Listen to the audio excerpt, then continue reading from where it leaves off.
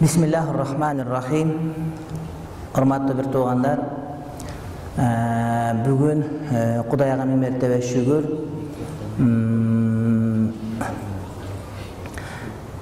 шарий илимдерди берүүнүн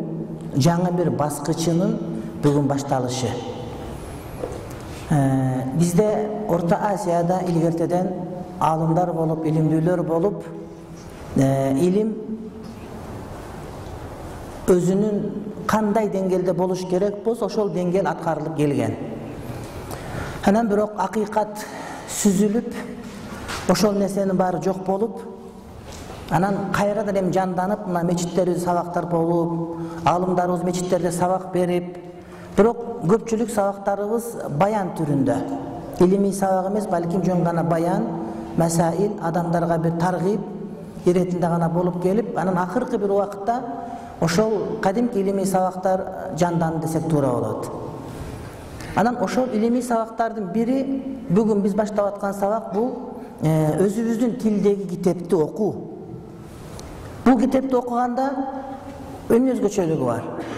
айтылып аткан маалыматтын баардыгы китепте бар китеп силердин колуңарда бар биздин колубузда бар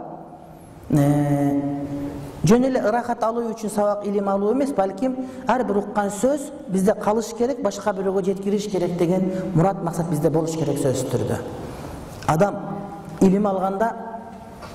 алланын ыраазылыгы үчүн илим алат дагы биринчи ниети дүйнөвү ниеттен биринчи ниети ушул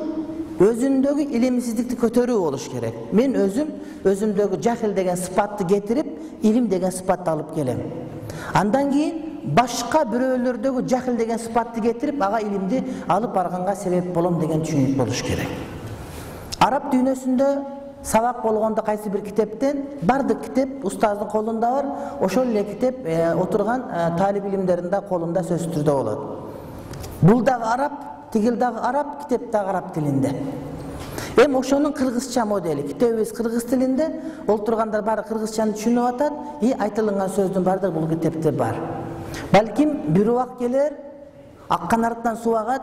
ошол эле арабча китептерден ар бир отургандын баары арабчаны билип отурган арабча билип китеп менен кайрадан кете турган күн дагы алыс эмес ушул күнгө жетип калдык иншалла кудай таалам ал күндү дагы жакындаткан болсун амин бул китептин тарыхы бул акыйда боюнча китеп убада кылган китебибиз китептин автору мен эмес биздин шакирттерибиз азыркы учурдагы биздин кыргызстандагы аалымдарыбыздын бири бирок адатта аалымдарды биз бөлөкчө көз менен эсептеп калганбыз сөзсүз түрдө элге белгилүү болуш керек машхур болуш керек эл тааныган болуш керек деп түшүнүп калганбыз албетте бул натура түшүнүк натура түшүнүк кээде өтө деле илимдүү эмес адам өтө белгилүү болушу ыктымал деле мисалы жумаң окшогондор өтө белгилүү болушу мүмкүн бирок андан дагы чоңураак аалымдар белгилүү эмес болуп калуусу толук ыктымалы бар даи даия дааватчы адамдарга баян айткан баян айткан адамдарга таргип берген адамдар болушу мүмкүн ошол эле учурда эч кимге билинбеген бирок илим боюнча жогорку деңгээлдеги аалымдар болушу мүмкүн ошондой аалымдарыбыздын биринин китеби мен буга редактор болуп буга сабак берип окутуп жүргөн үчүн ошол урматына менин атымды кошуп китепке жазып атат. Болбосо ал өзүнүн толук түрдө эмгеги бул жөнүндө китепте айтылынат. Окуу тартиби китепти ачып алып баштан баштап окуп кете беребиз. Өзүм окуп берем. Анан токтой турган жерге токтоп кетебиз.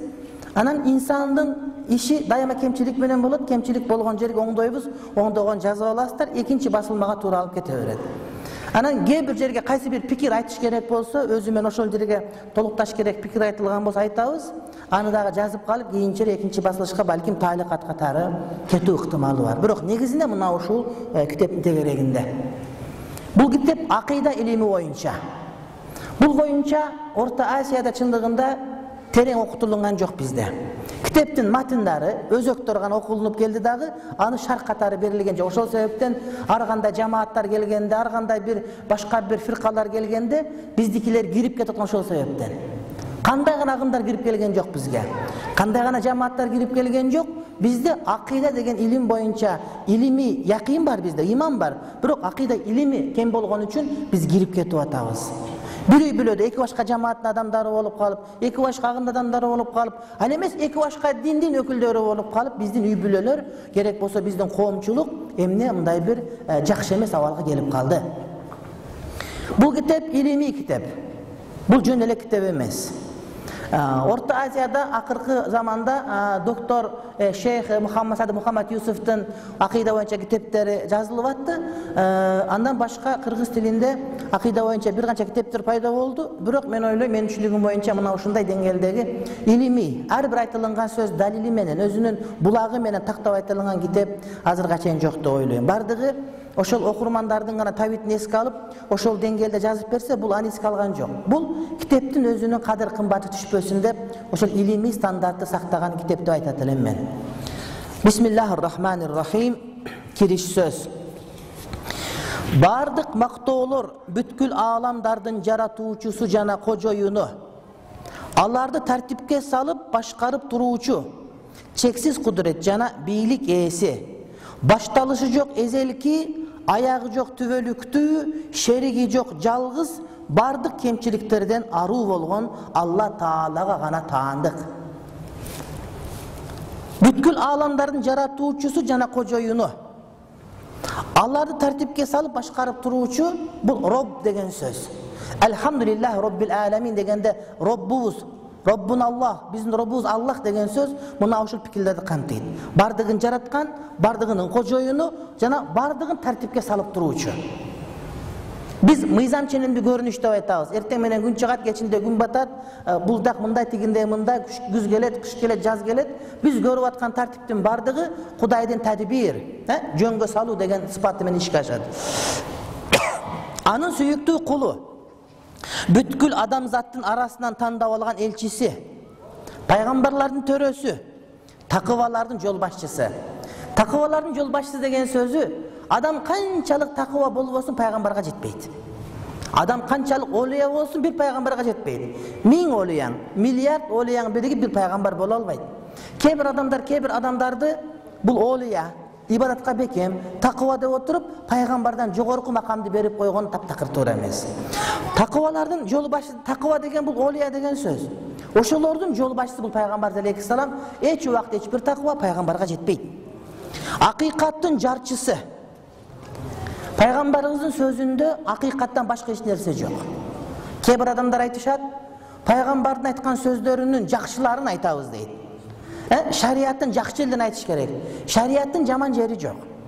пайгамбар айткан сөзүнүн баардыгы акыйкат айткан сөзүнүн кээ бир акыйкат эмес кээ бир акыйкат деп бөлгөнгө болбойт акыйкаттын жарчысы момундардын шапаатчысы кыяматта колдоочусу деген сөз шапаатчы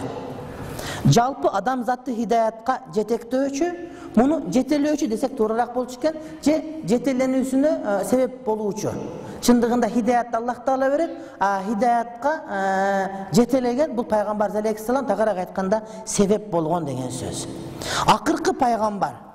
пайгамбар дагы бир сыпат акыркы пайгамбар мухаммед пайгамбарыбыздан кийин башка бир пайгамбарды бар деп этикад кылса ыймандан чыгат анткени курани каримдеги текстке каршы келген үчүн эмне үчүн кадияния жамаатын мусулман эмес деп билебиз бул боюнча китеп даярдалып жакында чыгат анткени мухаммед пайгамбардан кийин акыркы пайгамбар келет мухаммед пайгамбар акыркы пайгамбар эмес ал акыркы пайгамбардан мурдагы пайгамбар же пайгамбарлардын бири деп гана түшүнүшөт жок андай эмес абдуллахтын уулу мухаммедке жана анын үй бүлөсүнө сахабаларына жана кыяматка чейин анын жолунда жүрүүчүлөргө алланын ырайымы тынчтыгы жана кечирими болсун аллах таала аятында кимде ким исламдан башканы дин катары тутунса анын дини кабыл кылынбайт деп айткан курани каримде айтылынат исламдан башка динди дин катары кармасаң ал кабыл кылынбайт кудайдын астына барганда жөн эле көчөдө кээ бир адамдар диндер аралык диалог деп анан диндердин баардыгы чогулуш керек баардыгы бир болсо эмне. Менден бир жолу бир чоң окумуш эжеке сурайт өтүп кетти бейиши болсун ажыга барып намаз окуп калды кийинчерээк мурун сураган төрт мазхаб бардығы туурабы деді. Мен айттым туура төрт мазхабтың бардығы ақиқат. Ханафи малики шафии хамбали бардығы ақиқат. Төртөөнүн кайсынысын кармасаң туура жол табасың. Бирок бири биринен ойнобосоң кайсарлык кылып бир мазхабты карман кайсыл мазхаб карманасың сенин жашаган жериңдеги көпчүлүк адамдар карманган аалымдар көпчүлүк кайсыл мазхабта болсо ошону карман биз ханафи мазхаб карманабыз төртөө тең туура десем төртөө туура болсо эмнеге негизги үч дин деле үчөө тең туура деп айта бербейбиз христиан дини ислам дини буддизм динди иудаизм төрт динде төрт дин бар экен төрт динди деле төртөөнү бири кармаса туура боло бербейби дейт жок ал дин деген түшүнүк бул мазхаб деген түшүнүк мазхаб деген диндин ичиндеги нерсе чындыгында ислам келгенден кийинки башка эч бир дин дин катары кабыл кылынбайт эгер кимдир бирөө исламдан башка динди мейли жөөтчүлүктү мейли христианчылыкты мейли башка динди кармансын ал өзүн өзү алдаган алаксыткан боло берет бул айныгыс акыйкат аллах таала аятында кимде ким исламдан башканы дин катары тутунса анын дини кабыл кылынбайт деп айткан бул али имран сүрөсү сексен бешинчи аят ислам акыйда жана шарияттан турат эки бөлүктөн турат акыйда бул жүрөктөгү ишеним араб тилинде акыйда акдун окдун дейт бул эмне түйүнчөк бир дүнүйөңө бар түйүнчөккө түйүп бекен байлап чачылып кетпейт илгерки кемпирлердин түйүнчөгү болот эле ошол акыйда адамдын түйүнчөгү түйүнчөгүбүз жок болгон үчүн биз чачылып кетип атабыз биздин башыбызды байлап турган бул акыйда нерсе ал эми шарият инсан жашоодогу жүрүш турушунда аны кармануусу керек болгон нерсе жашоодо кантип жашашың керек. Кантип уктайсың кантип турасың кантип өлөсүң төрөсүң кантип төрөлөсүң кантип үйлөнөсүң кантип тамак жейсиң кантип тамак табасың кантип мечитке барасың келесиң айтор жашооңдун баардыгын жүрүш турушунда карманууң керек болгон нерсе эртең менен тургандан уктаганга чейин төрөлгөндөн өлгөнгө чейинки сенин кыла турган аракетиңин баардыгы шарият ал эми жүрөктөгү ынанууң ишенүүң бул урматтуу бир тууганым. Акыйда. Аллах таала өз китебинде жана пайгамбардын сүннөтүндө акыйданы жана шариятты баяндап берген акыйдабыз дагы шариятыбыз дагы курани каримде жана пайгамбардын сүннөтүндө аддину ма ва расул дин эмне дин бул акыйда жана шарият муну каяктан алабыз уктап турса келип калабы же бир акылдуулар жазып коебу же төкмөлөп төгүп береби жок бул аллах тааланын куранында жана пайгамбардын сүннөтүндө келет эки гана булак бар. Ижма менен кыяс ушундан келип чыгат акыйда менен шарияттын булагы куран жана сүннөт аллах таала өз китебинде жана пайгамбарынын сүннөтүндө акыйданы жана шариятты баяндап берген. Акыйда илими таухид илими деген ат менен белгилүү азыр таухид десе эле баардыгы бул салафилердин акыйдасы экен китабы таухид десе салафилер вахабилер экен деп түшүнөт жок чындыгында таухид бул ахли сүннанын акыйдага берилген атынын бири имам имамул худа абу мансур ал матуридин китеби китабу таухид деп айтылынат чоң китеп бар аты китабу таухид таухид арабча вахада ювахиду таухидан масдар жалгыздатты жалгыз деп билди жалгыздады жалгыз деп билүү жалгыз деп туюнуу жалгыз деп түшүнүү жалгыз деп ынануу деген сөз акыйда илими алла тааланын жалгыздыгын баяндаган илим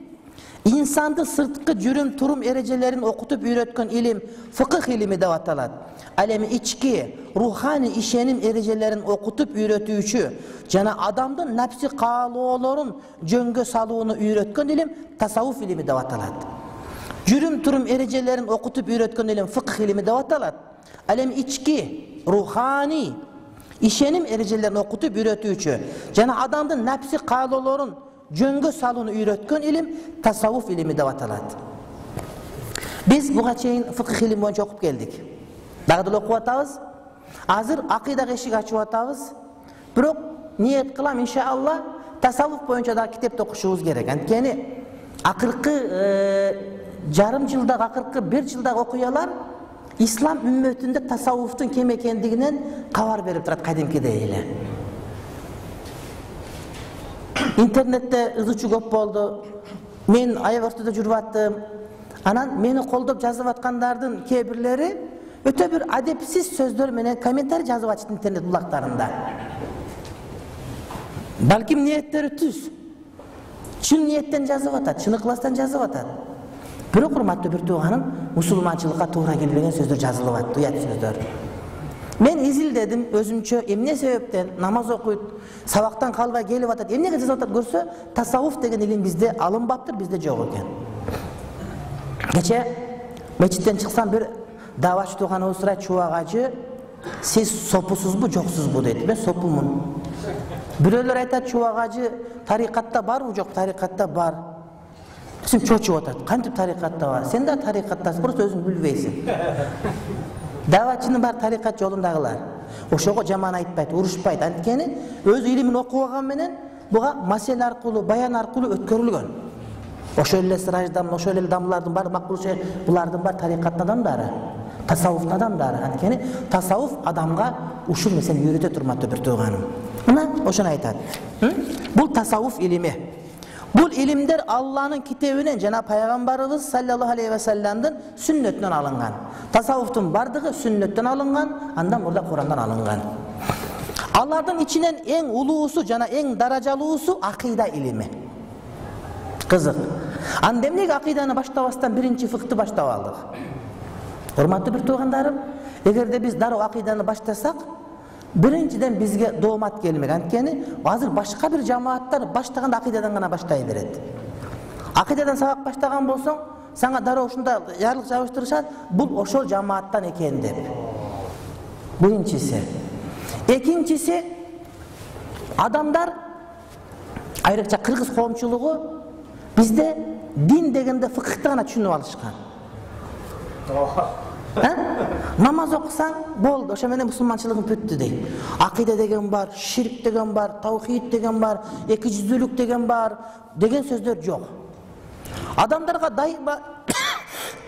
бир нерсени айтаарда ошолор билген нерсени айтып ошентип кирсең андан кийин башка нерсе айтсаң болот нормально экен дегендей э биздин эле мусулманчылык айтып аткан турбайбы ошол эле намаз сүйлөп атат ошол эле шыпыргыны койсоң болот койсоң болбойт деп айтып атат ошол эле мунуну сүйлөп атат биз билген маселени айтып атат түзүк айтып атат демек биз билген адам ушундай. Көп адамдар өзүндө маалымат бар сага суроо берет сен жооп бергенде ошол маалыматка сенин маалыматың туура келсе сени кабыл кылат болбосо сени ыргытып жиберет айылга барсаң аксакалдар сурайт молдоке мындай суроо бар деп. Жооп берсең өңүнөн жакшы келип калат эмнеге ошол суроону билет молдосы айтып берген ошону сурайт билбегенин сурабайт бизде билгенин гана сурайт кыргыз ушундайбыз да билгенди сурайбыз текшеребиз туура келсе а жакшы молдо экен дейт кийин калган сөзүн угат ошон үчүн биз фыкыхтан баштадык акыйда болбосо фыкыхтан дагы тасауфтан дагы жогорку нерсе эң төрө илим бул анткени бул тозок же бейиш деген сөз. Бул же мусулман же мусулман эмес деген сөз ушуну таразылап бере турган илим фыкых фасык болуп калды такы болуп калды бирок чогуу эле деген сөз фыкыхта талаш маселе болуп калса эчтеке болбойт бул жагын кармасаң мындай бул жагын кармасаң мындай бирок мусулман бойдон тура бересиң акыйдада жок же а тарап же бу тарап деген маселе алардын ичинен эң улуусу жана эң даражалуусу акыйда илими анткени илимдин даражасы ошол илим окутуп үйрөткөн нерсеге жараша болот илимде эмне нерсе окусаң ошого жараша кетет кыргыздар кантип айтат муну ээсин сыйласаң итине сөөк сал деген сөз бар иттердин даражасы ээсине жараша болот ит бардыгы болбосо ит бардыгы овчаркабы алапайбы баардыгы ит бардыгы бирок бир итке чоңураак сөөк саласың эмне ээсине жараша ээсин сыйласаң итине сөөк сал бул деген сөз ээси жөнүндө ит жөнүндө сөөк жөнүндө сөз жок бул деген сөз пайгамбардын башка бир хадиси бар адамдарга өздөрүнүн даражасына жараша мамиле кылгыла деген сөз акыйда илими фыкых илимге караганда тасауф илимге караганда кадыр баркы жогорку илим эмне үчүн анткени илимдин даражасы ошол илим окутуп үйрөткөн нерсеге жараша болот алла таала бардык жаратылгандардан улуу кудайым халик жаратуучу аллахтан башканын баары жаратылган жаратылгандардан жаратуучу аллах таала улуу жогору демек акыйда мына ошол жаратуучуну окутуп үйрөтө турган илим демек баардыгынан улуу болуш керек. Албетте алланы тааныта алла тааланы тааныта турган илим башка илимдерге караганда даражасы бийик болот эгер инсан алланын бар экенин ал инсандар менен жиндерди кулчулук үчүн жараткандыгын анын буйруктарын аткаргандарды жана аткарбагандарды өлүмдөн кийин эмне күтүп турганын билбесе анда ал намаз орозо зекет жана ажылык сыяктуу ибадаттарды аткарышы мүмкүн эмес. Кудайды тааныбаса кантип намаз окуйт?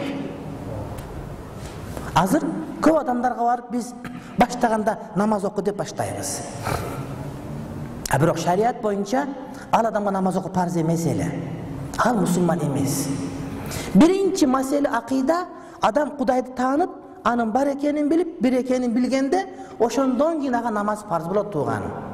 болбосо өмүр бою намаз окуп азыр бизде ушундайлар көп билесиңер кабырларга сыйынып аткан арбактарга сыйынып аткан теңирчи болуп аккуу болуп мазар кыдырып жүргөндөр бар намаз окуйт намаздын пайдасы жок бул учурда анткени акыйдасы аллах таала болгон ишеними туура эмес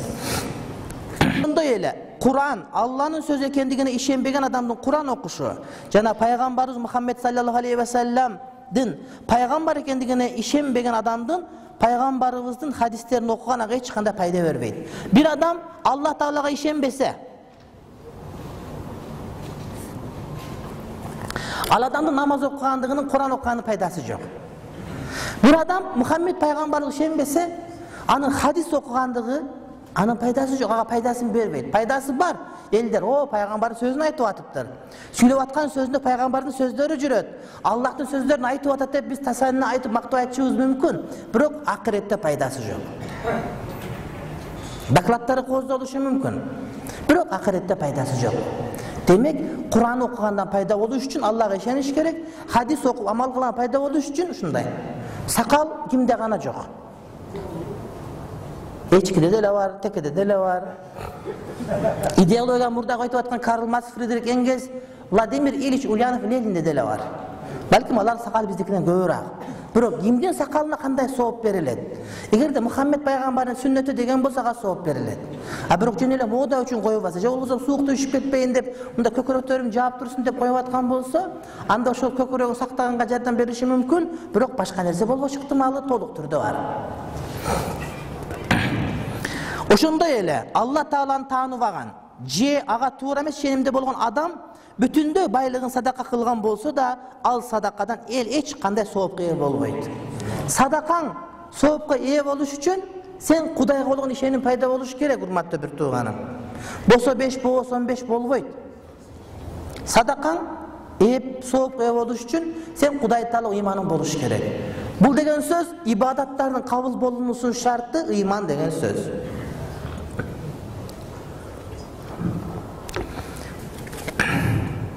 Жыйынтыктап айтканда акыйда илими адамдар үчүн зарыл болгон нерселердин эң зарылы. Жыйынтыктап айтканда акыйда адамдар үчүн зарыл болгон нерселердин эң зарылы.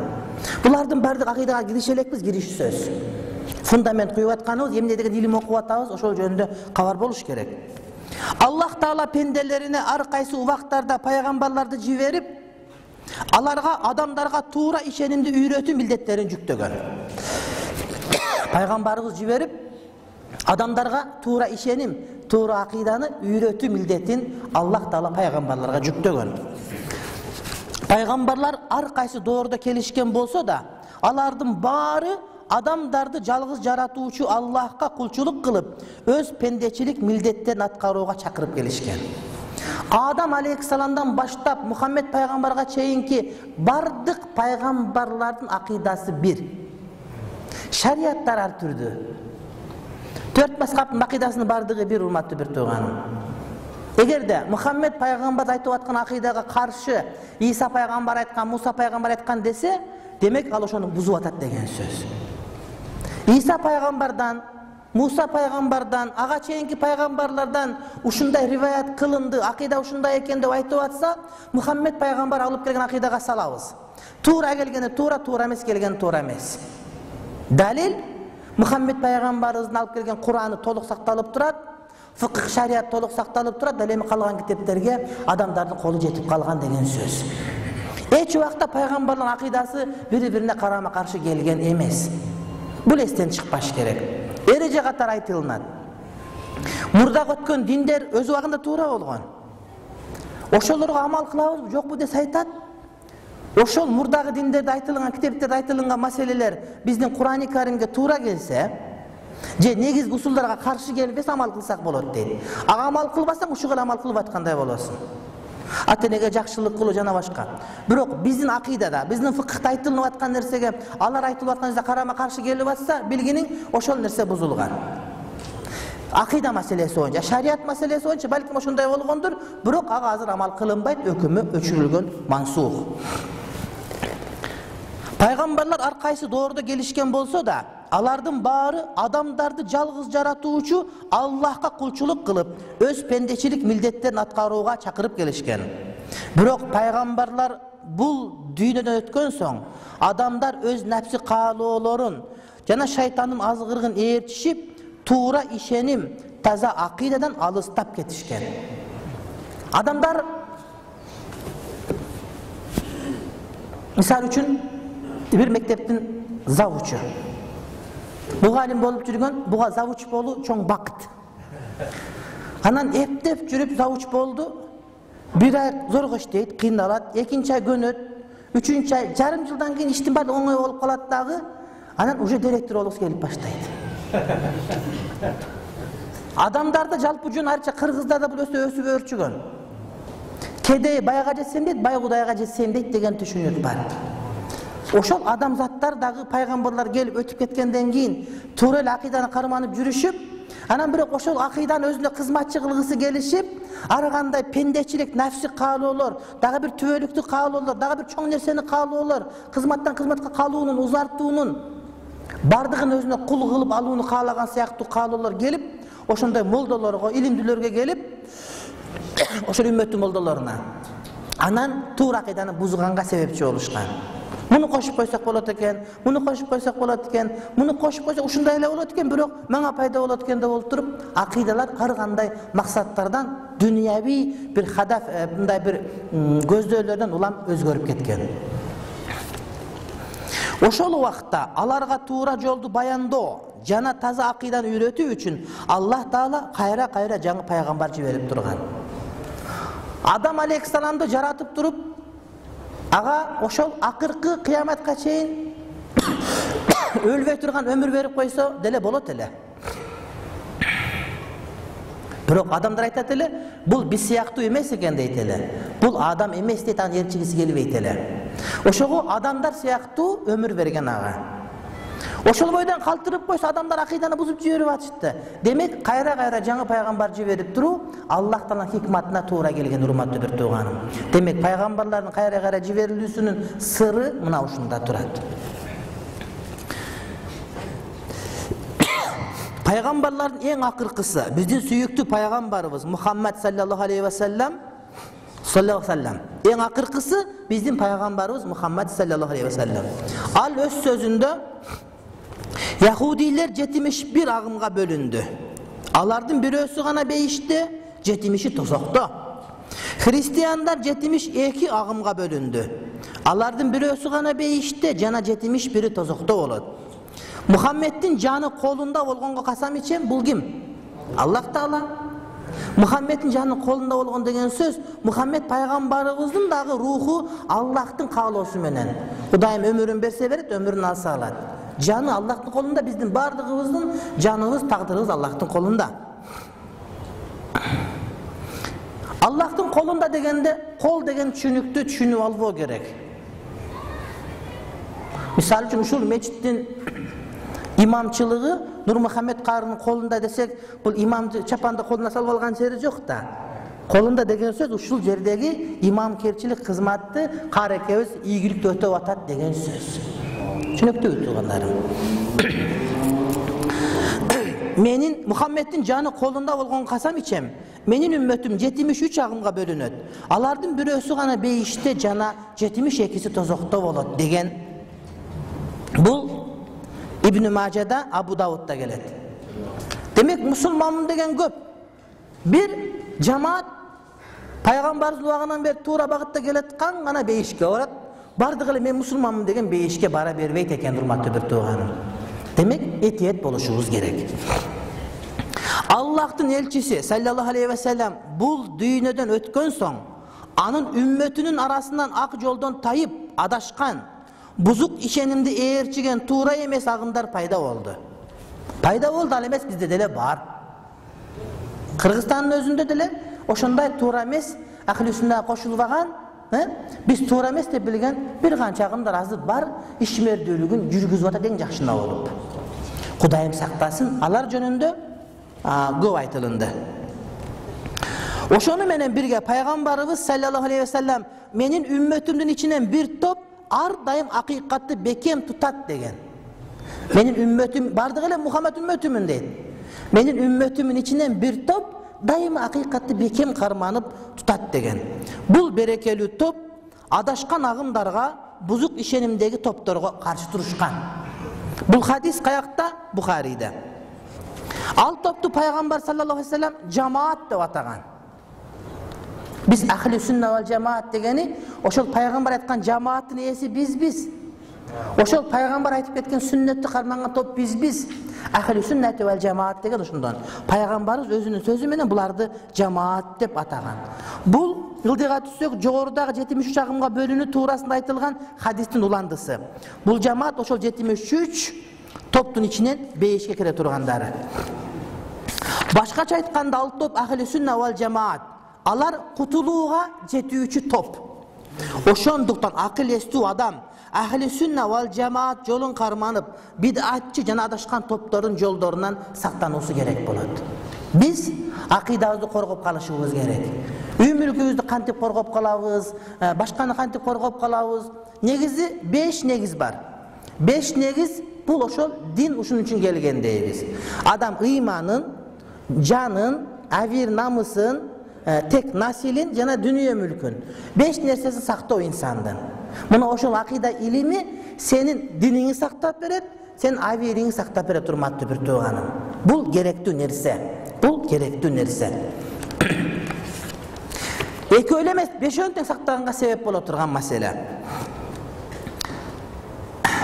көптөгөн аалымдар ахли сүнна вал жамааттын акыйдасын баяндап китептер жазышкан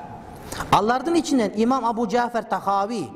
имам азам абу ханифа жана эки шакирти абу юсуф якуб бин ибрахим жана абу абдуллах мухаммад бин хасан шейбанилердин сөздөрүн жыйнап акыйда тахавия деген ат менен белгилүү болгон баяну сүннати вал жамаат аттуу акыйда китебин жазган имам тахави ахли сүнна вал жамааттын ичинен дагы эң көрүнүктүү алымдар болгон юсуф имам мухаммад үчөөнүн акыйдасын топтогон анткени үчөөнүн акыйдасы бүт аламдардын акыйдасы бүт сахабалардын акыйдасы жана пайгамбардын акыйдасы эле болгон имам тахави мына ушулардын айтып аткан сөзү жетип акыйда катары илим катары калыптанган бизге жеткирип айтып берди мусулмандардын акыйдасын ушул үч аалымдын оозунан алып бизге айтып берди тагыраак айтканда ушул үч аалым ошол илгерки келген чоң аалымдардын пайгамбарыбыз сахаба табийдин акыйдасын бизге жеткирип айтып берген ошону силерге айтып берип атам деп айтып атат эң кызык факт тахави акыйдасы шииттерден башка мусулмандардын баардыгында этибарга алынган ашарилерде матуридилерде салафилерде жана башкалардын баардыгында болгон ошого шарх бергенде бири бул жакты көздөп бири бул жакты көздөп кетиши мүмкүн бирок асли ушуга баардыгы иттифак анткени азыр биз билебиз имам бухарий менен бул адам чогуу сабак окуган адам болгон бул ошол илгерки аалымдардын катарындагы адам. Анын бул китеби көптөгөн пайдаларды камтыгандыгы жана кыска нуска жазылгандыгы үчүн жалпы үммөт аны кабыл кылып окуп жана жатташты. Аалымдар ага түшүндүрмөлөр жазышып анын маанилерин чечмелешти имам абу жафар бул китебинде камтылган маанилерди кыргыз тилдүү окурмандар менен бөлүшүү максатында белгилүү ислам аалымдарынын бул китепке жазган түшүндүрмөлөрүн жана башка ислам акыйдасы боюнча жазылган китептерди пайдалануу аркылуу чакан бир китепче жазууну ниет кылдым чакан китеби өзү үч жүз элүү бет китеп болуп калды көлөмдүү китеп чыгып калды итегинде бул оюмду устазыбыз чубак ажы жалиловго айтканымда ал муну колдоого алды жана китепти кантип жазуу керектиги жөнүндө тиешелүү кеңешин берди бул илгертен бар адат алымдарыбыз дайыма китеп жазганда өздөрүнүн устаздарынан сурашып кантип жазсам болот деген эгерде индиялык пакистандык аалымдардын китептерин карасаңар автордун заты дагы анан устазым паланчанын өзүнүн насааттарынын негизинде ушинтип жаздым дейт бул эмне бул улууму менен кичүүмдүн ортосундагы байланыш үзүлбөсүн деген сөз адам эч убакта ошол мен болуп калдым менден мурдагылардан кыйын болуп кеттим деген түшүнүк алып келбеш керек ошол түшүнүк келди мен билдим деген жерден илимдин түгөнгөн жери ошол болот ошон үчүн ошо анткени сен окуп аалым болуп атасың бирок тиги токтоп калган жери жок ал деле окуп атат деген сөз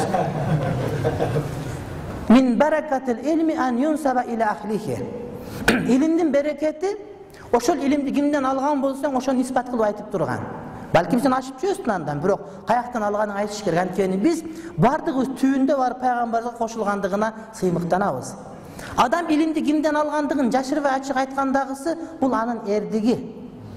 Бул өзүнүн илимий жолундагы ачыктык. Анткени илимди кимден алган белгилүү болуш керек. Азыр адамдар илимди интернеттен алышат фейсбуктан алышат устаздын өмүрү көргөн эмес билбейт тааныбайт таараты бар жок экенин дагы билбейт биздикилер жок дайыма кимден илим алган ал кимден алган ал каяка чейин барып кошулат ал так анык баардыгы эч кандай жаман эмес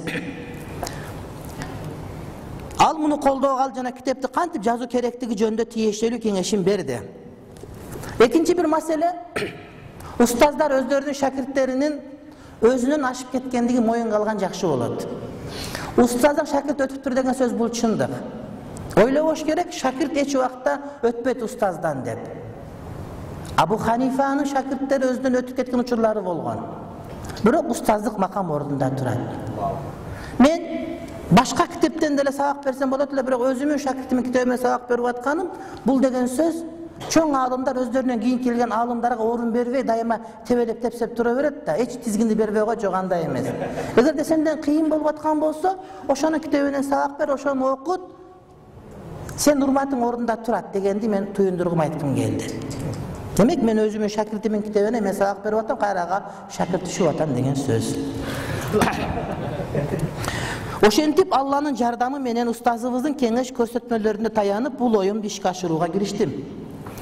китепти жазууда негизинен төмөндөгү аалымдардын акида тахавия китебине карата жазган түшүндүрмөлөрүн пайдаландым жана ар бир айтылган сөздүн кимге таандык экендигин өтө маанилүү кимге таандык экендигин көрсөтүү үчүн ал аалымдардын сөздөрү бүткөн жерге алардын аттарын кашанын ичинде көрсөттүм дейт алар кимдер биринчи умар бин исхак бин ахмад бин мухаммад бин исхак бин ахмад бин махмуд сиражидин абу хафс ал газнави ал газнави деген аалым ал болжол менен жети жүз төрт же жети жүз бешинчи хижри жылында төрөлгөн ал ханафи имамдардын арасынан белгилүү фыкых аалымы болгон жана көптөгөн илимдерде чебер болгон ал фыкых илим боюнча аш шамаил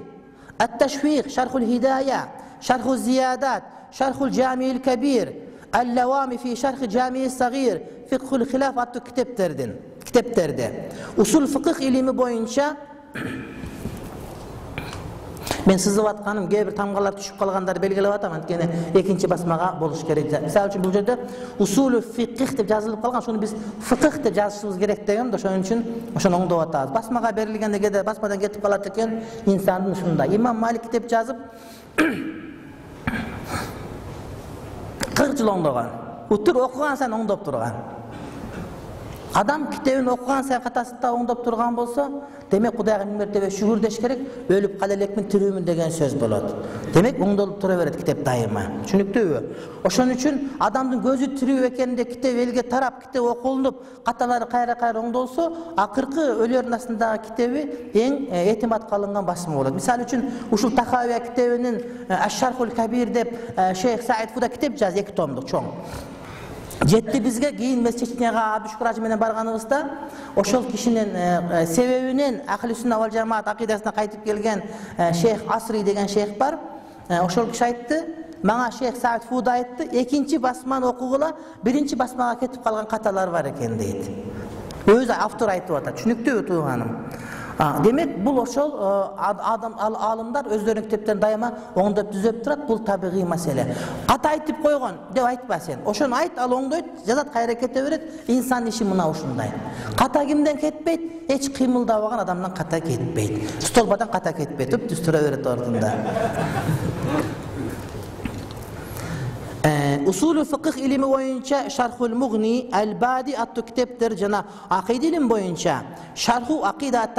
тахави аттуу китебин жазган анын сөздөрүн пайдаланганда абу хафс ал газнави деп белгилеп көрсөттүм дейт деп бул жерде хибатулла түркистанийди экинчи муну өзүңүздөр окуйсуздар ал буснавийдикин майдани деген китебин алып келип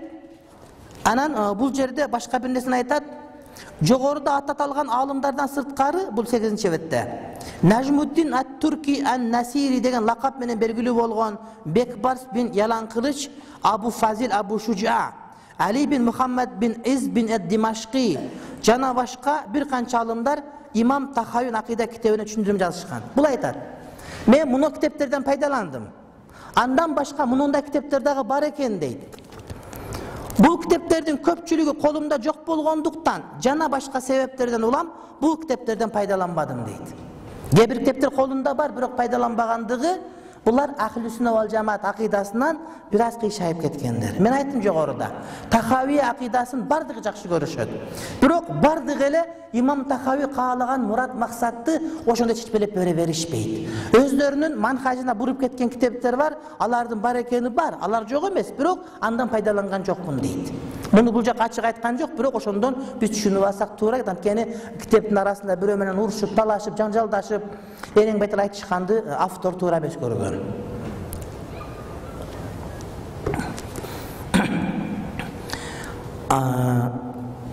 а бирок ислам акыйдасы жазылган башка белгилүү китептерди колдондум дейт тахавиядан башка бирок ахли сунна вал жамаат акыйдасын туюндурган кээ бир китептер бар ошол китептерди колдондум алар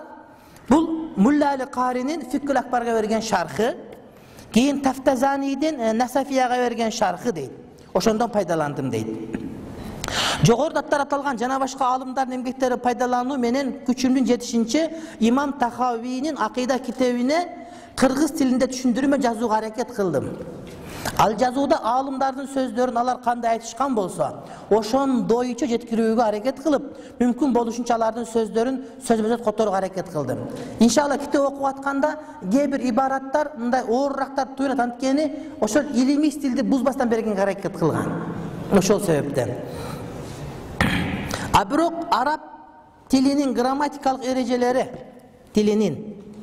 сөздөрүнүн түзүлүш тартиптери боюнча кыргыз тилинен кээ бир айырмачылыктар менен айырмалангандыктан окурманга түшүнүктүү болуусу үчүн кээде сөзмө сөз эмес жалпы маанисине карата которун. Таржама харфия таржама маанавия деген эки түшүнүк бар. Таржама харфия сөзмө сөз которулат таржама маанавия жалпы маанини берет. Курани каримди таржама харфия которуу мүмкүн эмес. Курани каримди сөзбө сөз которуу мүмкүн эмес курани карим таржама маанавия же таржамат маанил куран курани каримдин маанилеринин котормосу гана болот а курандын өзүн дословный котордум деген бул урматтуу бир тууган өтө чоң күнөө чоң күнөө ошондой эле кээ бир учурларда кашааларды жана шилтемелерди колдонуу аалымдардын сөздөрүнүн маанилерин ачыктоого аракет кылдым андан сырткары кээ бир убактарда жогоруда аты аталган аалымдардын жөнөкөй эл түшүнүүсү кыйын болгон сөздөрүн кыскарттым аллах тааладан менин бул эмгегимди кабыл кылуусун жана аны элибиз үчүн пайдалуу кылуусун сураймын дейт имам тахавийдин өмүр баянын окуп алыш керек. Бияка жазат имам тахавийдин кыскача өмүр баяны анын толук аты абу жафар. Ахмад бин мухаммад бин салама ал азди ал хаджри ат тахави анын ата бабалары емендиктер болушкан түпкүлүгү еменден демек таза арабтардан емен таза арабтар мисирликтер араб эмес бирок арабташкандар а емендиктер кыпкызыл таза арабтар египет ислам халифатына өткөндөн кийин алар египетке келип жашап калышкан ислам келди халифат келди мусулманчылык абат барып жашасаң болот деген сөз ал хижри жыл санагы боюнча эки жүз жыйырма тогузунчу жылы египеттин таха деген жеринде төрөлгөн илимдүү үй бүлөдө төрөлүп илимдүү ата эненин тарбиясын алып өскөн имам тахавийдин чоң аалым болуп калуусунун себептеринин бири үй бүлө ушундай болгон азыркы учурда бизде кыргыз коомчулугунда өзбек тажик коомчулугуна караганда бир аз өксүк бар бизде диний коомчулукта эмне үчүн десе бизде диний интеллигенция калыптанган жок диний элита деп айтсак эгерде туура келсе бул калыптанган жери жок бир адам шаардык болуу үчүн үч муун шаарда жашаш керек экен чоң атасы шаарда жашап өтүп анан атасы кийин бала шаарда чоңойсо буну городской шаар деп билет экенбиз жедеп шаардык культура маданият сиңип калат дейт ошол сыяктуу эле диний элита молдолордун кадыр баркы башкалардын баардыгы бизде башкалардай болгон эмес анткени биз көчмөн эл болуп совет дооруна отурташып калдык дагы деги эле кыргыз тарыхында бүгүнкү күнчөлүк диндар болгон эмеспиз массалык түрдө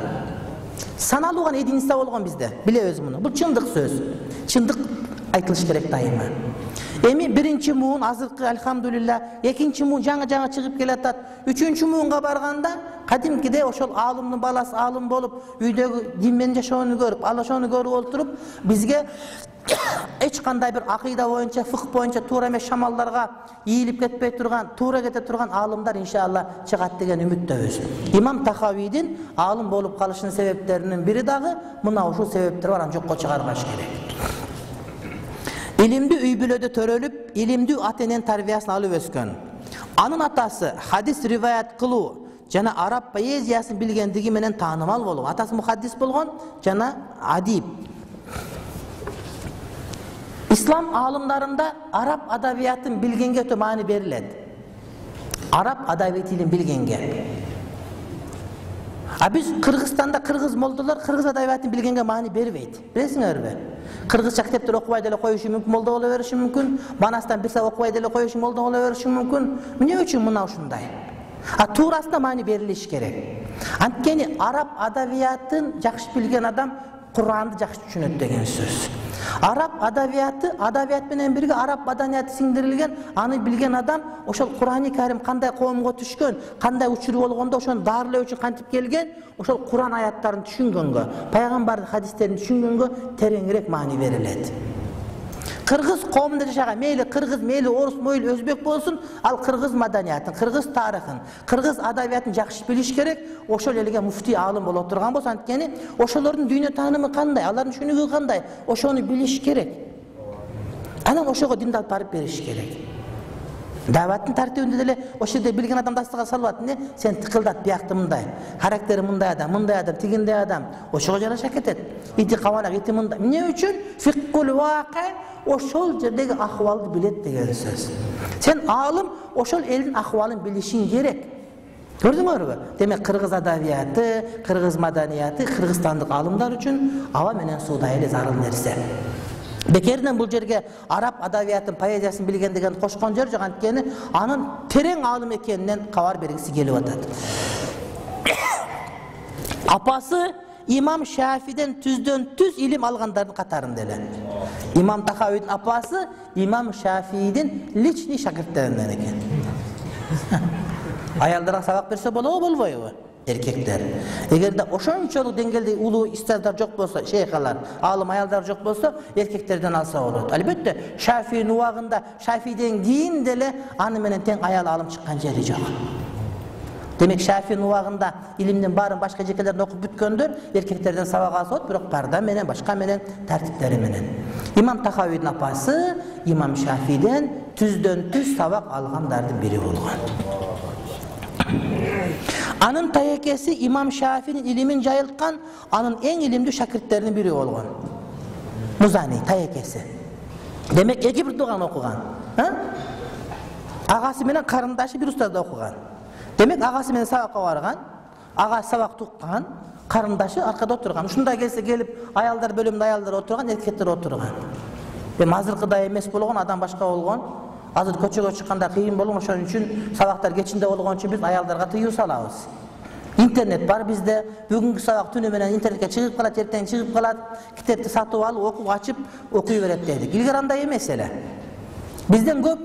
мастурат жамааттан сураныш түштү акыйда сабагы бир эле ай экен биз дагы келип аялдар бөлүмү отуруп уксак дегенден ойлонуп имам дамбылда менен кеңешип олтуруп анан кайрадан сабактар сыртта болот экен аялдар кирип чыкса башка болот кийин сабак шамга чейин болот кеч болуп калат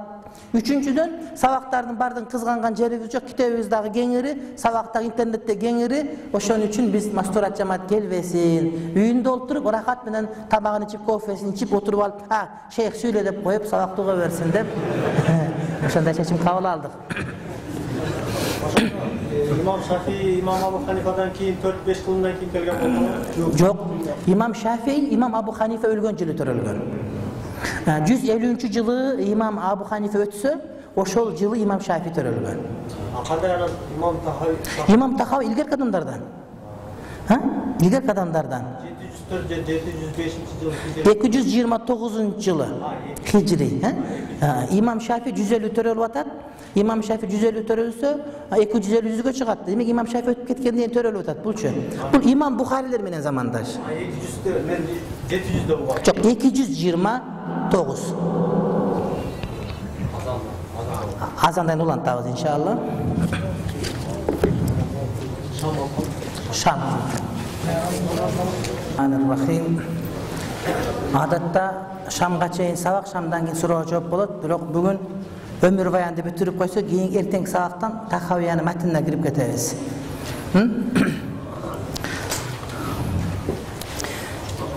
илим алууда басып өткөн жолу жана устаздары дайыма аалымдардын устаздары жөнүндө сөз кетиш керек анткени кимден алгандыгын билишибиз керек бизге жанагыдай нокотек аалымдардын кереги жок нокотек деген эмне атасы ким апасы ким белгисиз көчөдөн табылып калган балдарды кыргыз нокотек дейт ошон үчүн устазы ким анын устазы ким анын устазы ким имам тахавийди баардыгыбыз билебиз бирок устаздарын окуп үйрөнүү ан сайын биздин көкүрөгүбүз ан сайын ишенич ан сайын бизге ого болгон ага болгон урмачты тартуулайт ал алгач таекеси ал музаниден илим алган имам музани имам шафийдин эң жакын шакирти жана имам шафийдин мазхабын таратуучу адам бул имам тахавийдин бир тууган таекеси болот ал алгач таекеси ал музаниден илим алган андан муснат аш шафини риваят кылган демек имам тахави имам шафиден муснат китебин бир адам менен риваят кылган адам чоң адам шафи мазхабтын түркүттөрүнүн бири десек болот имам тахавийди ошондой эле мисирде абу жафар ахмад ибн аби имран имранан деп калыптыр имран болуш керек дагы тактайбыз муса бин исадан илим алган эки жүз алтымыш сегизинчи жылы шамга барып азыркы сирия урдун тарап иордан тарап ал жерден казы абу хазм абдул хамид бин жафарды жолуктуруп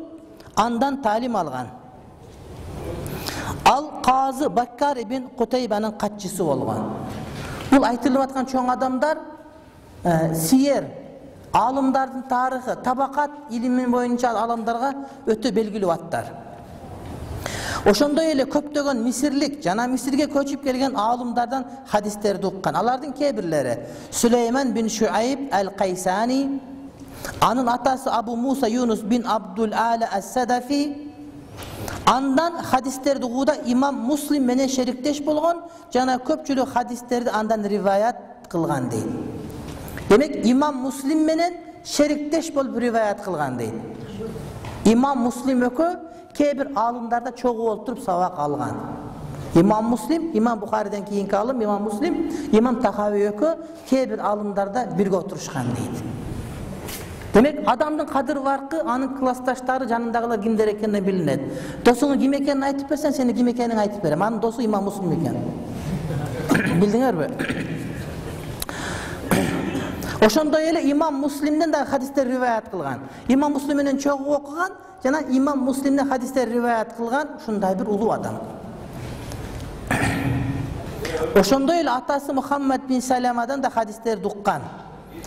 анын китептери устаздардын аттары менен толуп ташкан кээ бир аалымдар анын устаздардын аттарын чогултушуп китеп кылып жазышкан имам тахавийдин устаздарынын аттары китептерде өтө толтура канчалык көп устаз деген сөз ошончолук көп окуу жатып атат го менде эки диплом бар менде үч диплом бар. Бул бүтпөй калыптыр деп айтышат го ошол устаздарынын көптүгү ошончолук көп илимди алган дегенден кабар берет ал жыйырма жашка чыкканда шафи маскабын таштап ханафи маскабына өткөн. Имам тахави шафи маскабында болгон. Жыйырмага чыкканда жыйырмага чыгып ханафи маскабка өткөн. Кудайдын кудурети биздин көптөгөн чоң аалымдарыбыз башында шафи ибн абидин шафи болгон кийин ханафи болгон дешет. Бул шафи болгон кийин ханафи болгон. Анткени чыныгы фыкых ханафилерде. Фыкыхтын дамын таткысы келген адам ошондой спорт менен кыйын машыккысы келгендерди сууга сүзгүсү келгендерди төрт метр алты метр бассейнге камап койсоң алар кысылып кетет ал ыссы көлгө барып сүзүш керек наркы бери өтүш керек береке ошол сыяктуу фыкых боюнча толуп ташкандар ханафи маскабына өтүшкөн келишкен алардын бири имам тахави жыйырма жашында эки маскап таразалап көрүп ушул маскап фыкых боюнча салмактуу экен деп чечип ошол жака өткөн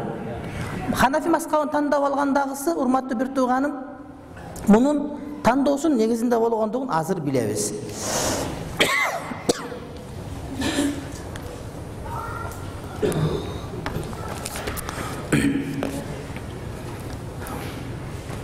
имам мухаммад захид ал каусари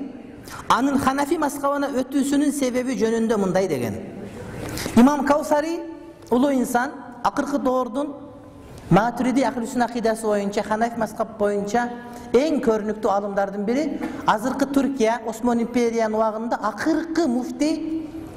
мустафа сабри болсо ошо акыркы муфтийнин зам муфтийи имам каусари болгон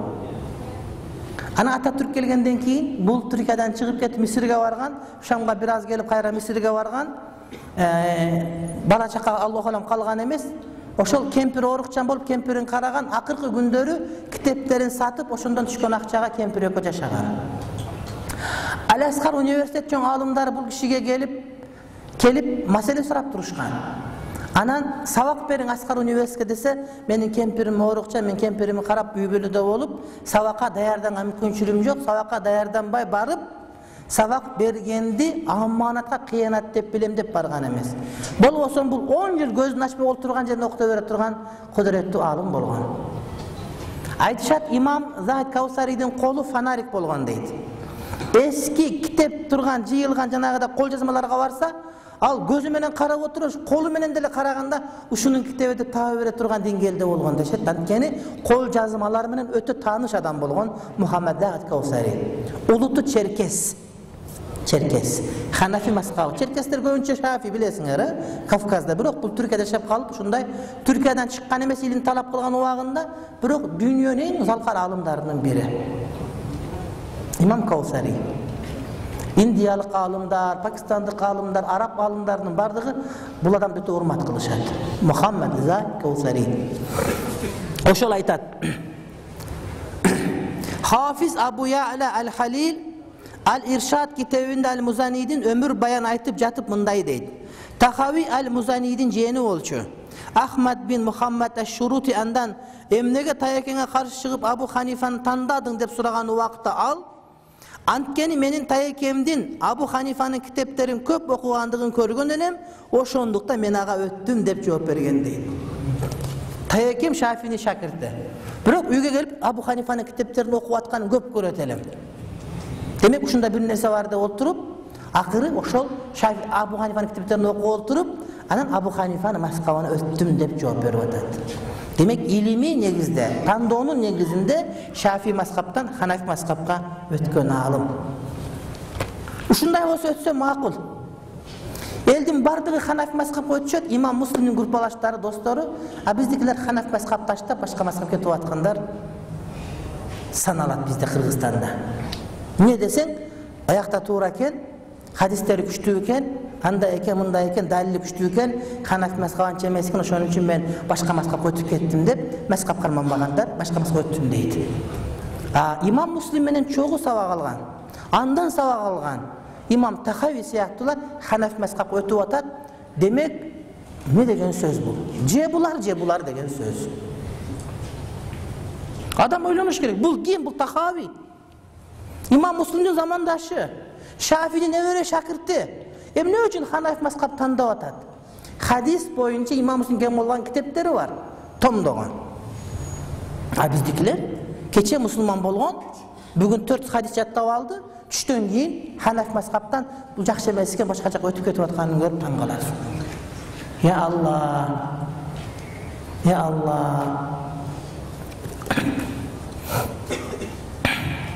ал эми ассаймири анын ирактыктардын мазхабына өтүүсүнүн себебин абу бакр ал хаваризмидин сөзүнөн көчүрүп алып айткан сөзү мункати кабар андай кабарлар далил болууга жарабайт башка бир риваяттарда келет анын шафи мазхабтан ханафи мазхабка өтүшүндө мындай деген себеп бар эле деп бир туруп келет ошол себеп айтылынат бирок ошол себеп айтылынган сөз мункати дейт мункати дегени бул жакта келет кабарды жеткирүүдө кабарчылардан турган чынжырдын үзүлүп калуусу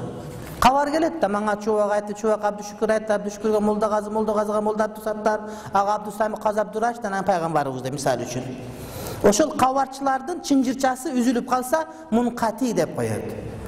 имам тахавийдин шафи мазхабтан ханафи мазхабка өтүүсүнүн башка бир себеби дагы бар деп айтылынат бирок ошол айтылынган кабардын жанагы чынжырчасы үзүлүнгөн ал туура эмес дейт ал туура эмес дейт ал кандай кабар эле десе имам ал каусари имам тахави таекесинин сенден эч нерсе чыкпайт деген сөзүнө өчөшүп ханафи мазхабына өтүп кеткен деген кабардын туура эмес экендигин баяндаган дейт кээ бирлер бар да тахави жаман адам болуп өтүп кетти анан кутулганга кудайга шүгүр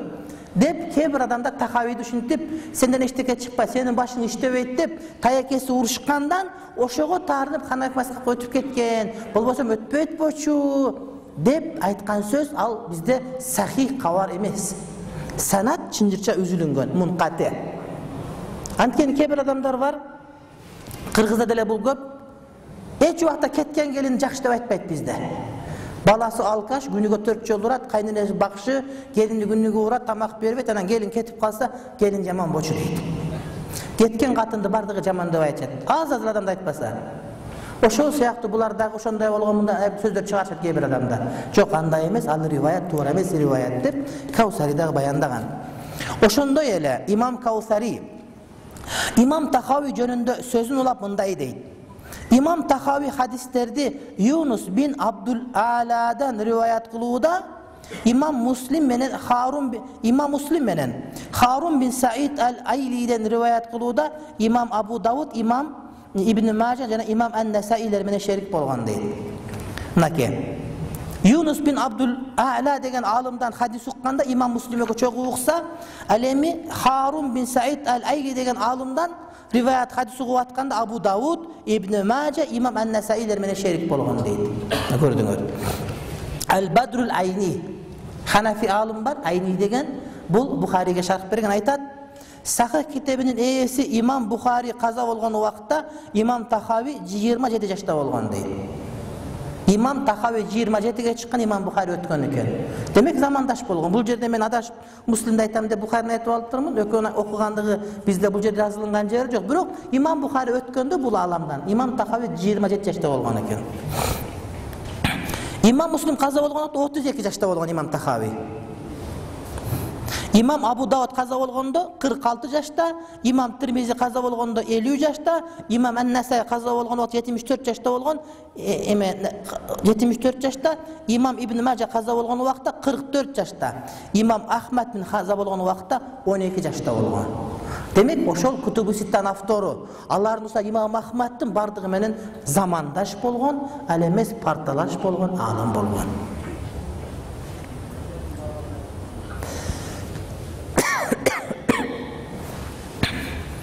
андан кийин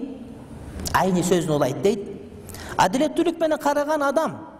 имам тахави аны менен жаш куракташта жаш куракта болгон жаш куракта замандаш болгон же хадистерди риваят кылууда шериктеш болгон сахих сихах жана сунан ээлерине караганда өкүмдөрдү курандан пайгамбарыбыздын алейхисалам хадистерин алууда бекемирээк жана фыкыхта далили күчтүүрөөк экендигинен шек санабайт дейт имам айни айтат. Ынсаптуу адам карап көрсө. Жанагы айтылынган бухари муслимдер кутубу ситта сунан арбаа имам ахмад. Ошолордун арасынан имам тахави дейт. Хадис ошолор менен үзөңгүлөшө алган. А фыкыхта ар бир фыккый маселеге далилдеп келген мунун томдогон китептери бар. Бир аз туруп келет. Ошолорду караган адам имам тахавин аларга караганда фыкыхта жана фыкыхтардын далилин келтирүүдө бекемер экендигин эч жокко чыгара албайт дейт китептерин окусаң жанагы айтылган мухаддис аалымдар китептеринде хадистерди гана келтирген а бул хадистерди келтирип жана хадистерден чыккан тыянактарды келтирип жана эки хадисти бири бирине карама каршыдай көрүнсө эмне үчүн ошондой бул хадистерди кантип түшүнөбүз дегенди айтып берген андан сырткары муктасар тахави деген өзүнүн фык боюнча китеби бар болгон башка дагы көптөгөн китептери бар ал эмес акыйданын автору болгон ушундай бир аалым болуп атат демек бул факих мухаддис. Экөөнү бирге алып кеткен.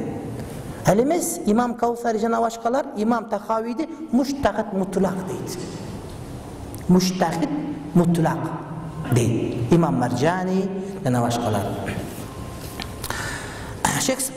пайгамбарыбыздын хадистеринен алууда бекемирээк жана фыкыхта далили күчтүүрөөк экендигине шек санабайт бул анын жана алардын башка хадис аалымдарынын сөздөрүн салыштырып караган убакта ачыкка чыгат дейт макалатул каусариде келет дейт имам каусари айдинин сөзүн келтирген аалымдар ал тууралуу эмне дешет эми биз мактап атабыз бирок аалымдар кантип айтышкан бир адамдын баркын билиш үчүн аалымдардан угуш керек максат тамлан илимдүүлүгүн билиш үчүн ошого замандаш болгон аалымдар андан кийинки аалымдар кантип айткан устаздары кантип айтканды билебиз анан максат тамлан илими жок деп эле кечээ мурдун тартылбаган бирөө сүйлөп аткан болсо анын сөзү этибарга алынбайт демек аалымдар жөнүндө аалымдардын сөзүнө угушубуз керек абу саид ибн юнус тариху әл уламаи әл мусриин деген китебинде мынтип айтат мусриин мисрия эмес мисриин оңдоп коесуздар мисриин деп тахави хадис риваят кылууда ишенимдүү эске тутуусу жакшы акыл эстүү фыкых илиминде аалым болгон жана өзүнө теңдеш кимди артында калтырган эмес дейт айтылган илимдерди тахави өлгөндө ошол учуданын артында андан күчтүү аалым калган эмес дейт демек өз доорунун номур биринчи аалым болгон деген сөз артында өзүнө окшогон калтырган эмес деген сөз өзү өлүп атканда ошого теңдеш аалым жок эле кийин анда кыйындап чыгып башка болушу мүмкүн бирок өзү өлүп атканда өзүнүн артында андан кыйыны калган жок дейт ушундай эле пикир ибн асакирдин тарих китебинде айтылган ибн абдилбар тахави куфалыктардын маскабында болгон жана бардык фыкых аалымдарынын маскаптарын билген дейт факих аалым бир гана маскапты билсе факих болбойт аалымдардын маскаптарын билген адам факих болот жок эле деген төрт маскапты билиш керек төрт маскапты билип аалымдар кантип айткан кандай деген пикирлер бар талаш маселе каякта экендигин түшүнгөн адам ошол ошол өзүнүн маскабында аалым болот өзүнүн маскабын эки китеп окуп алып эле мен аалым болуп калдым деп аалам гүлистан деп жүрө берген болсо ал өзүнө эле аалым башка бирөөгө аалым эмес стандартка туура келбейт анын аалымдыгы ал жакшы молла түшүндүңөрбү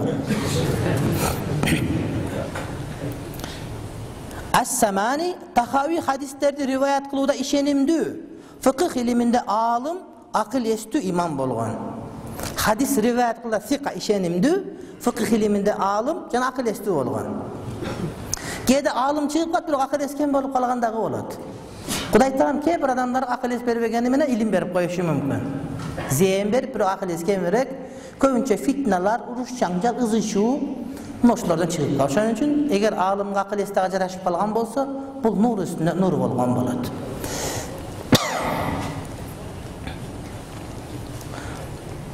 абул фараж ибнул жаузи бул хамбали аалым ал мунтазам китебинде хадис риваят кылууда ишенимдүү түшүнүктүү фыкых илиминде аалым акыл эстүү болгон деп айткан бадрул айни айтат тахавийнин хадисте ишенимдүүлүгүндө диндарлыгында ишенимдүүлүгүндө нукура кадыр бактуулугунда баардык аалымдар бир пикирде баардык бир пикирде баардык аалымдар бирөө бир жаман деген жери жок аалымдардын баардыгы хадис боюнча фыкых боюнча ишенимдүүлүк деген аманатка бекемдиги деген сөз бул жерде эки кайталанган жери жок хадис илиминде ишенимдүүлүк өзүнчө бир маселе фика анан ишенимдүүлүк деген аманатка бекемдиги деген сөз демек эмне ушундай бир адам баардыгы бир пикирде ал хадис илиминде алардын илалдарын насих жана мансухтарын билүүдө тажрыйба хадис илиминде хадистин илалдарын билүү хадис илиминин жеткен чегиндеги аалым деген сөз баардык мухаддис илалдарды билбейт илал деген эмне ылдыйга түшсөңөр илал хадистердин сахих болуусуна тоскоолдугун тийгизе турган себептер аларды хадис илиминдеги чыгаан аалымдар аныктай алышат дейт имам биргибийдин усулул хадис ушинтип айтылынат баардык мухаддистер билбейт аны демек чыгаан мухаддис жихбиев деп коет хибр деп коет эң күчтүү аалымдар гана билет илалдарын билген ошондой эле насих жана мансухтарын билүүдө тажрыйба алуу насих деген эмне мурда бар болгон кайсы бир шарият өкүмүн токтотуучу анын көчүн жокко чыгаруучу дейт кудай таала бир өкүм жиберет бизге андан кийин башка өкүм жиберип ошол өкүм мурдагы өкүмдү өчүрөт мисалы үчүн башында намаз окуп атканда арак ичпегиле деген аят келсе кийинки аят келет дагы болду эми таптакыр ичпегиле дейт эмнеге андай эле анткени адамдар арак көп ичет эле баардыгы башында. Аларга ичпе десең ичпей койбойт иче берет эле кой ушу динди кой деп. Анан жок иче бергиле только намаз окуп атканда ичпегиле деп аят келген. Адамдар жакшы дин экен деп намаз окуганда ичпейт ассаламу алейкум салам алейкум деп туруп ичип коюп анан кете беришкен. Хикмат ушундай анан барып барып ыйман көкүрөккө киргенден кийин арак арам делгенде төгүккөндө мадинанын шаарынын көчөлөрүнөн арак кадимкидей сел болуп сай болуп аккан дейт айтпадыкпы жана акыйданы эмнеге баштаган жокпуз деп фыкыхтан баштадык деп хикмат ушундай ошол сыяктуу курандагы хикматка амал кылган кербезибиз эле бирөөлөр айтышы мүмкүн астагфирулла чубак ажы качан көрсөң бидатчы акыйда негизги маселе акыйда маселесин биринчи айтыш керек эле бул фыкыхтан баштап алган акыйданы айтпайт деп дайыма айтат интернеттен башка жерлерден а муну түшүнүш керек эле мынакей тадарруч илим берүүдө адамдар жетелеп баруу өзүнчө бир хикмат айтып эч нерсе угулбай калгандан көрө акырындап барып баары угула турган болгон бул жакшыраак мансух деген мурда бар болуп кийин күчү жоюлган шарият өкүмү мурда бар болгон кийин күчү жоюлган шарият өкүмү мансух мына аалымдар билбейт тажрыйба алуу дейт ага эч ким тең келе албайт дейт илалдарда насих мансух билүүдө ага эч ким тең келе албайт деп ким айтат имам бадрут айни айтат ага салаф жана халаф аалымдары мактоолорду айтышкан дейт салаф аалымдары халаф аалымдары туура түшүнүп алуу керек сәләф алымдар деген сәләфи алымдар деген сөз емес сәләф кімдер екенін бияқтан оқимыз мынакей қарағыла сәләф деген тілдік мааниси мурда жашап өткен адамдар деген түшүндүрөт араб тилинде сәләф деген сөз мурда жашап өткен адамдар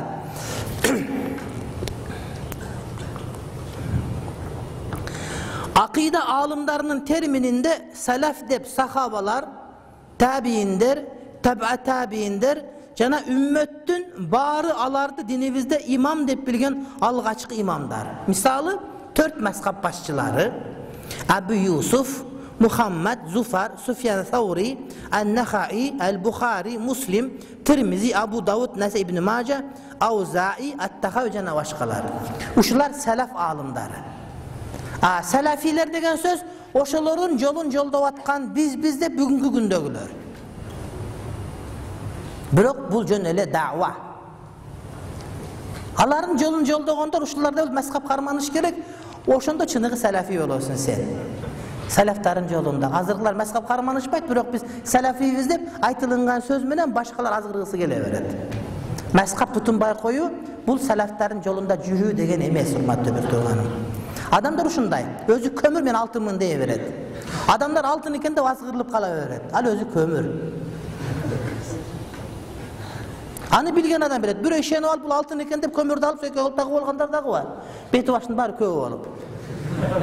Текшергендер барып текшертип карап туруп э бул алтын эмес экен деп билип алат. Ошон үчүн айтып аткан сөздүн баарына ишене бербеш керек. Базарга барсаң ош базарына кире бериш илгери сатат алтын алтын деп. Арзан бир темирлерди. Алтын эмес болот ошол сыяктуу сөз салаф жана халаф аалымдар халаф деген ким лексикалык мааниси ордун басуучу кийинки урпактар деген маанини билдирет термин катары салаф аалымдарынан кийин келип алардын жолун уланткан аалымдар биз салафтар айтабыз биз салафтар минтик деген сөз туура эмес булар салафи бирок салафи эмес түшүнүктүүбү бирок азыр туура жолдо жүргөндөр өздөрүн салафимин деп айтпасын деп айтабыз анткени ошентип айтсаң тиги көмүрлөр өздөрүн алтынмын дегенде эле ошого жабышып калуу себеп болгон себептен антип айтпайбыз биз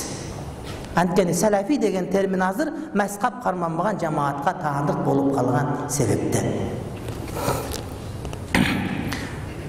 аззахаби ал жөнүндө ал хадисте ишенимдүү диндар аалым акылман болгон деп диндар таква деген сөз аалымдардын кээ бирлер диндар эмес таква эмес болот бирок бул таква дагы болгон ибн касир аль бидая ва нихая китебинде тахавидин өмүр таржымалын айтып жатып мындай дейт хадис илиминде өтө так ишенимдүү өтө күчтүү жаттоого ээ болгон хафиздердин бири дейт бардыгы макалатул каусариде келет хафиз деген эмне бул туурасында хадис аалымдары эки түрдүү сөз айтышат биринчиси мухаддис хадис аалымы деген сөз менен бир мааниде экинчиси мухаддиске караганда даражасы жогорураак адам деген сөз анын шакирттери жана андан хадис риваят кылгандар аалымдын аалымдыгынын дагы бир нерсеси анын шакирттери ким экендигин билиш керек аалым болуп төрөгө отуруп жамбаш учадан колуң бошогон жокпу же бир кичине курмандык кылып шакирт тараттыңбы дейт спортто деле ушундай шакирттери барбы жокпу баардык илим саясатта деле ушундай ким шакирттери деген ошол сыяктуу илимде дагы адамдын шакирттери менен бааланат шакирттери кимдер дейт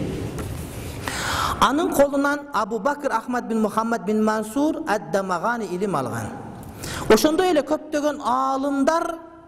андан хадистерди риваят кылышкан. Алардын кээ бирлери төмөнкүлөр абу мухаммад абдул азиз бин мухаммад ат тамими ал жаухари ибнул хашаб деген ат менен белгилүү болгон хафиз ахмад бин ал касим бин абдуллах ал багдади абу бакр макки бин ахмад бин садуя ал бардаи абул касим маслама бин ал касим бин ибрахим ал куртуби фақих абул касим убайдуллах ибн абдурахман абу мухаммад ал мусри улуу қазы ибн абил ауам абул хасан бин мухаммад бин ахмад ал ихмими хафиз абу бакр мухаммад бин ибрахим бин али ал мукри анын имам тахавийдин уулу абул хасан али бин ахмад тахави ал мужам китептеринин ээси абул касим сулейман бин ахмад бин аюб ат табарани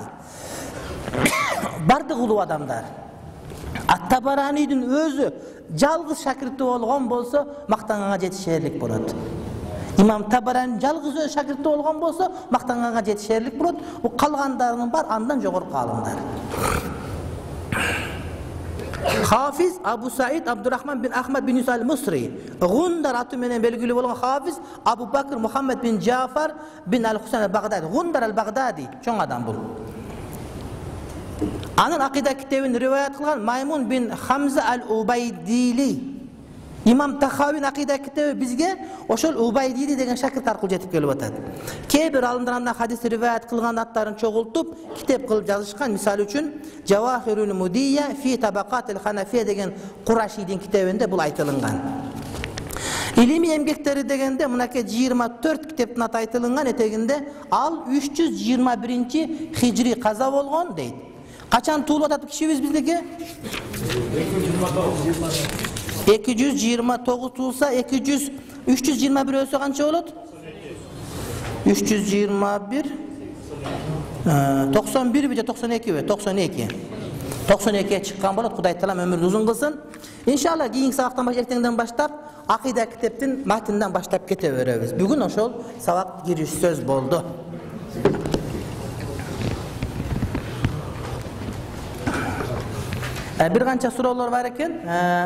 биринчи суроо сиз дейт жанар акаев менен кичине айтышып жүрдүңүз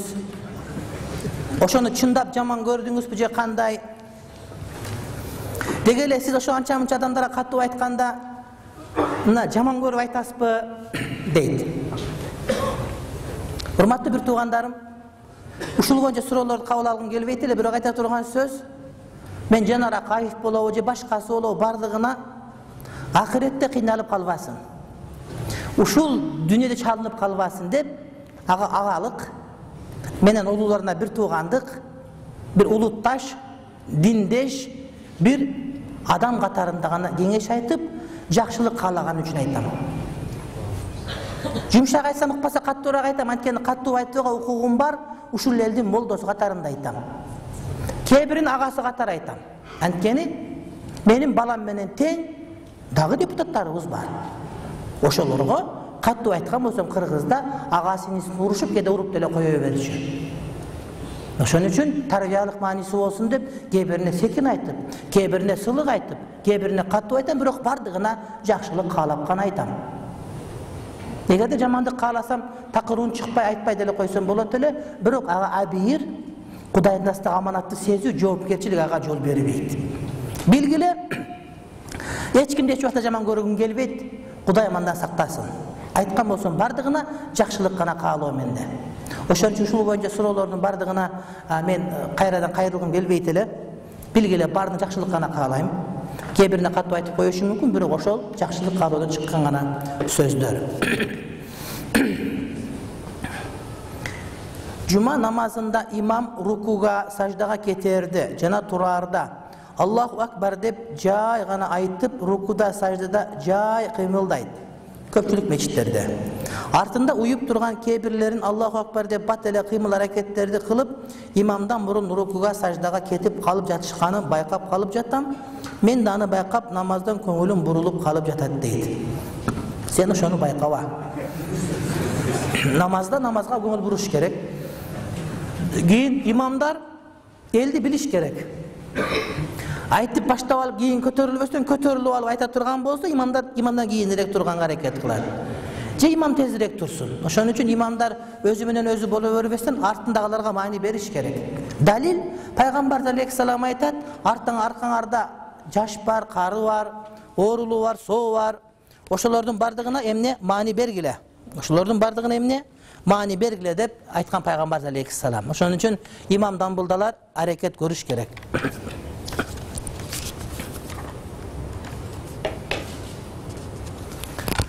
Amin. Bismillahirrahmanirrahim. ربنا آتنا في الدنيا حسنة وفي الآخرة حسنة وقنا عذاب النار Allah subhanahu wa taala elimizge, mamleketimizge тынччылык берсин коңшуларга тынччылык берсин жалпы мусулмандарга күч кубат ынтымак беримдик берсин кудай таалам акыйдабызды түздөгөндү насип кылган болсун ушул китептен окуп береке алып ошол берекени башкаларга жеткиргенди кудайым насип кылган болсун китеп жазган акыл дамбылдабыздын өмүрүн узун кылсын тилектерин кабыл кылсын кудайым сөзүн оозунда кылып берекелүү узун такабидикиден узун өмүр берип мына ушунун өмүрүндөй берекелүү өмүр берсин кудайым ошону жазган китептерин окутуп жүрө бергенди окуп жүрө бергенди кудайым баарыбызга насип этсин жайдын күнүндө көлгө түшкөндүн ордуна башка жака баргандын ордуна жайлолуп кыңызып жүргөндүн ордуна ысыктын күнү келип акыйда оңдойлук динибизди билелик деп келип атасыздар кудай таалам тилектериңердин баарын кабыл кылсын кудайым шерменде кылбасын кудайым жакшыларга шерик жамандардан алыс кылсын кудайым жамааттан дуа тилек дуа үмүт кылгандардын баардык тилектерин кудай таалам кабыл кылган болсун кудайым бактылуу ыроологон болсун китепти окуунун тартиби китеп ар бириңерде болуусу шарт бүгүнкү алган сабакты сөзсүз окуйсуздар анан эртеңки сабакты окуп келесиздер эгерде китеп силерге жат болуп калсын десеңер беш күнгө чейин күн сабакты окуй бериш керек мисалы үчүн эртең болобу эки күн сабак бешинчи күнү болгондо беш күн сабак биз бир күндө он бет окуйбуз демек бир күндө элүү беттен сабак окуганга аракет кылыңыз келатканда беш күнгү сабакты кайталап окугула эртеңки он бетти кайталап окуп койгула жаңыдан анан алтынчы күнгө өткөндө биринчи сабак калып кетип экинчи сабактан баштап окуп кетесиздер анан кайсы жерге келген болсоң ручкамен жазып жазып койгула бүгүн мынакей биринчи август биякталдык экинчи август биякталдык анткени кийин башка бир туугандарга коңшуларга сабак бергениңерде ошого карап күнүмдүк кылып бөлүп кете бересиңер иншалла баардыгы жакшы болот. Аллах ыраазы болсун. Ассаламу алейкум рахматулла.